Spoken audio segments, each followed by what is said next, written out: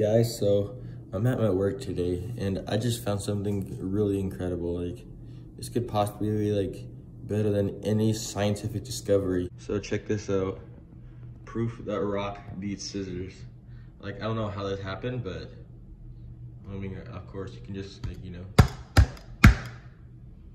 See, look at that. There's already a crack right there from the rock. I don't know if you can see it on camera that well. Oh, there you go. Now you can see it. That's crazy. Like actual proof that rock beats scissors. Like someone, either someone actually tested it out when they invented rock, paper, scissors, or they just guessed. But if you don't believe that rock beats scissors, because you have evidence right here. Rock literally beat up scissors.